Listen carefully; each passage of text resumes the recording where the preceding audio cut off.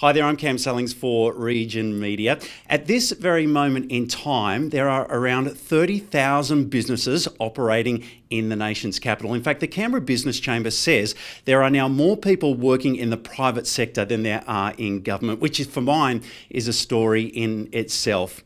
Today we're going to meet and learn about another successful business here in the nation's capital.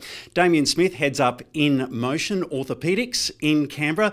Thank you so much for joining us today. Thank you for having me. We're here in the practice in the Woden shops, or just next to the Woden shops. Um, tell us, let's go back right to day dot. How did you gain an interest in orthopaedics? Oh, it goes back a long way. Uh, as a teenager, I was uh, quite active into into sports, and uh, so movement and exercise has always been important to me. And uh, uh, I spent some time at the AIS on scholarship, and so I was in and around uh, the sports doctors, and so that first triggered my interest in, in medicine. Let's talk about uh, the business in motion. How did it start and the history of it? Yes, well, I, I grew up here in Canberra. I'm a Canberra local, and uh, I went and studied medicine in Sydney at Sydney University, and uh, then went on to my orthopaedic training after I finished that, I went to the UK for for 12 months on uh, further fe fellowship, and then came back to Canberra and worked as an orthopaedic consultant uh, initially in a, a, large group practice for 10 years. And then I wanted to go out on my own and, and set up In Motion in 2019. And so, what are some of the challenges that you've faced? Uh, obviously, COVID being one, but from 2019, some of the challenges that you faced? Yes, well, setting up uh, on your own is always a daunting prospect. Anyone uh, setting up a business, whether it's medical or retail, or is always daunting. And uh, not long after I set up, COVID hit. But uh, you know, we've been very, very lucky. Uh, here in Australia and particularly in Canberra, and I think there's some good management with that.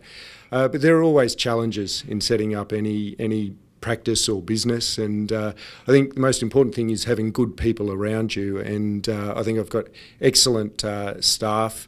Uh, through to my practice manager, Marie Bryant, and, and uh, my uh, medical secretary, Ursula, and uh, my physiotherapist as well, Kristen Steele. Yeah. And having good people, I think, is crucial. Yeah, absolutely. And in my readings of orthopedics, uh, robotics are starting to become a factor. How? Yes, robotics is very exciting uh, sort of development in, in medicine. Robotics is, is, is in, in many industries and has been for some time.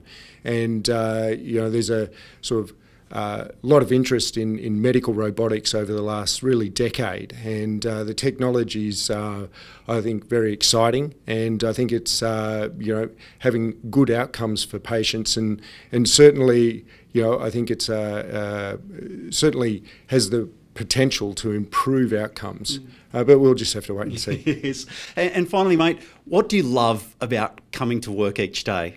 Look, I, I, really love the job that I do. Um, being an orthopaedic surgeon uh, is very rewarding. Uh, people can come in with, with sore joints that's limiting their mobility, they're riddled with arthritis, uh, they have a sport injury, and I can work with them, work with my physiotherapist uh, whether they need surgery or other treatments, and and you know improve people's mobility, improve their uh, quality of life and function, and that's very rewarding. Yeah, sounds rewarding indeed. Well, mate, thank you so much for spending a few minutes with us here on RiotACT. It's my pleasure. Thank you very much. In Motion is the name of the business, and you can learn more at inmotionortho.com.au.